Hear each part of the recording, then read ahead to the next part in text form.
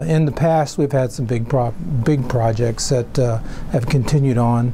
Um, I think I mentioned when we talked before about something called gustometer, where uh, we developed this system for use in the MRI, and uh, it it actually drops different uh, tastants onto a patient's tongue while they're being imaged in an fMRI environment. And depending on whether it's sweet, sour, umami, or uh, bitter, or whatever, different areas of the brain will light up.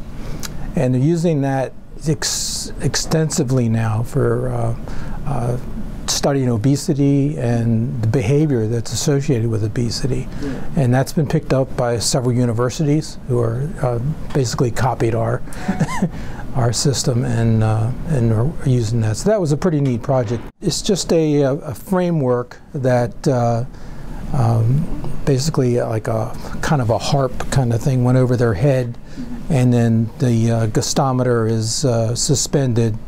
Uh, so it can be adjusted because you have different shapes of the different patients' heads, and um, so this this is actually what it looks like.